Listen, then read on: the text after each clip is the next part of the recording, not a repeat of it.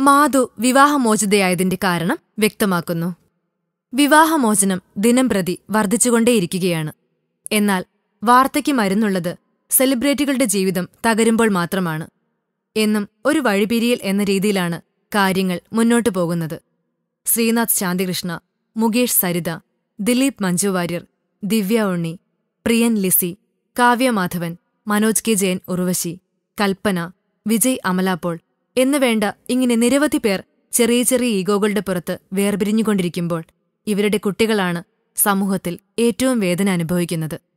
മാധു ഒരു കാലത്ത് മലയാള സിനിമയുടെ നീർമാതളമായിരുന്നു. തമിഴ്നാട്ടിൽ ജനിച്ച മാധു കന്നഡ സിനിമയിൽ ബാലതാരമായിട്ടാണ് എത്തുന്നത്. നെടുമുടി വേണു ആദ്യമായി സംവിധാനം ചെയ്ത പൂരത്തിലൂടെയാണ് മാധു മലയാള സിനിമയുടെ ശ്രീകോവിലെത്തിയത് മാധുവിന് മലയാളം ഒത്തിരി മികച്ച കഥാപാത്രങ്ങൾ നൽകി. അമരം ആയുഷ്കാലം സവിധം സതയം കുട്ടേട്ടൻ തുടർക്കഥ എന്നിങ്ങനെ പ്രഗത്ഭ താരങ്ങളോടൊപ്പം മാറ്റുരച്ച മാധുവിനെ പ്രണയിക്കാനെത്തിയത് വിദേശ മലയാളിയായ ഡോക്ടർ ജേക്കബ് ആയിരുന്നു.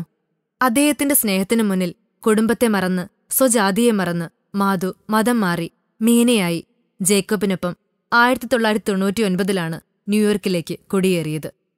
പൊരുത്തക്കേടുകൾ നിറഞ്ഞ ജീവിതം രണ്ടായിരത്തി പന്ത്രണ്ടിലാണ് ഇരുവരും ഉപേക്ഷിച്ചത്. അസ്വാരസ്യങ്ങൾ നിറഞ്ഞ ജീവിതം മാധു വിവാഹമോചനത്തിലൂടെ അവസാനിപ്പിച്ചെങ്കിലും ക്രിസ്തുമത വിശ്വാസിയായി പത്തും പതിമൂന്നും വയസ്സുള്ള മക്കളോടും മാതാപിതാക്കളോടുമൊപ്പം ഇപ്പോഴും ന്യൂയോർക്കിൽ തന്നെ ഒരു ഡാൻസ് സ്കൂളും നടത്തി ജീവിക്കുകയാണ്. മാധു എന്ന നമ്മുടെ നീർമാതളത്തിന് ഇനി സിനിമയിലേക്കൊരു മടങ്ങിവരവുണ്ടോ എന്നറിയില്ലെങ്കിലും എല്ലാ ഭാവുകങ്ങളും നേരുന്നു ഫിലിം കോട്ട്. കൂടുതൽ സിനിമാ വിശേഷങ്ങൾക്കായി ഈ ചാനൽ സബ്സ്ക്രൈബ് ചെയ്യൂ. Film coat.